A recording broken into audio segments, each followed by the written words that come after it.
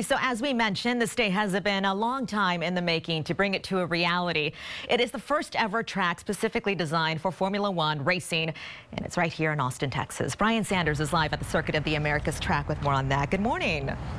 Well, good morning to you. Should be another beautiful day here out at the track and all of the buildup over the last few years, as you mentioned, all of the hard work by so many people that went into building Circuit of the Americas pays off today. We're standing just outside of turn 12. Already some people lined up, though, at the Grand Plaza entrance waiting to get in. The gates will open at 7.30. Some 120,000 fans expected here for Austin's first U.S. Grand Prix, marking F1's return to America for the first time since Indianapolis in 2007.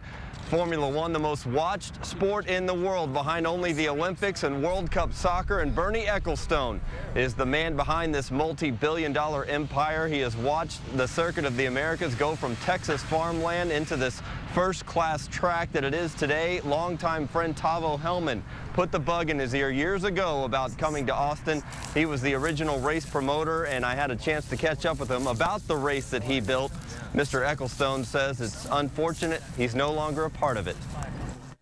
The guy that got behind this and convinced me we should be is a guy called Trevor Holman, who's regretfully not anything to do with things anymore but it's because of him we're here. You know, the, the project's come full circle and, uh, you know, had lots of obstacles, but everyone's done a great job. It's something that we should all be proud of.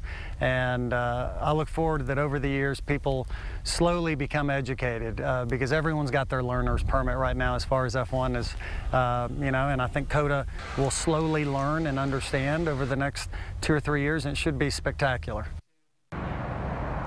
A lot of first-time F1 fans here, a lot of international fans here, and people from around the U.S. that have been to Formula One events before, all huddled up here at 7.30 waiting for the gates to open in the Grand Plaza area of Circuit of the Americas. You can watch my full interview with Tavo Hellmund coming up in our Grand Prix premiere special at 11 o'clock. And make no mistake that he will be here trackside at the start-finish line. He wouldn't miss this for the world. He's actually working on a Grand Prix in Mexico City coming up in the next few years. We'll have more on the start grid for today's race coming up a little bit later on. 20 drivers will take the track. They'll start their pump and circumstance about 12.30 and then the race gets underway at 1 o'clock. They will go around this 3.4 mile track 56 times and based on the qualifying times we saw yesterday, the entire race should be over in about an hour and a half.